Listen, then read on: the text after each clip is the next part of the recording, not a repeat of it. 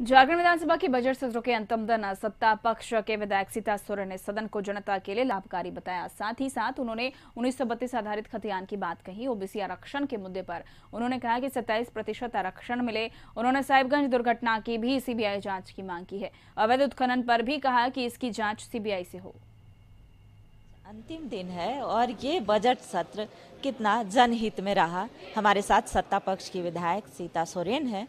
Ma'am कितना सफल रहा? अब वो तो आने वाले दिन में पता चलेगा कितना सफल रहेगा। पब्लिक भी बताएँगे आखिर विकास का कार्य किस तरह होने वाला है।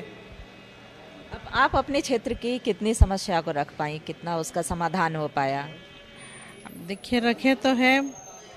अब कार्य होता है समाधान होता है जो हम रखते हैं जो जिस जिस तरह से छोटे छोटे पुल पुलिया और रोड का काम ये सब हो जाता है।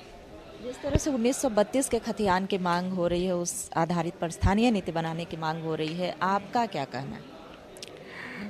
खतियान के आधार पर होना चाहिए। 1932 से हम लोग शुरू से उस पर स्टैंड हुए हैं।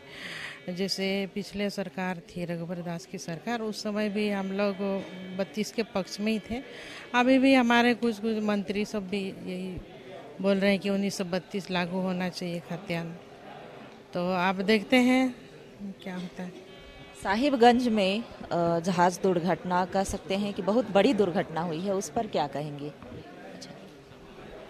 अब देखिए दुर्घटना तो होती रहती है और तो होनी है। आप उसको कौन रोक सकता है? अगर जाँच का विषय है तो उस पर भी हम लोग जाँच करने के लिए तैयार।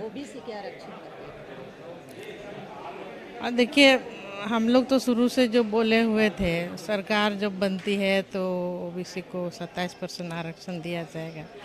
अभी हमारी सरकार है विचार कर रही है ठीक है? ये थी सत्ता पक्ष की विधायक सीता सोरेन जो कि कई सारे मुद्दों पर बात की। कैमरा पर्सन प्रदीप के साथ मैं रुचि शर्मा कशिश न्यूज़ रांची।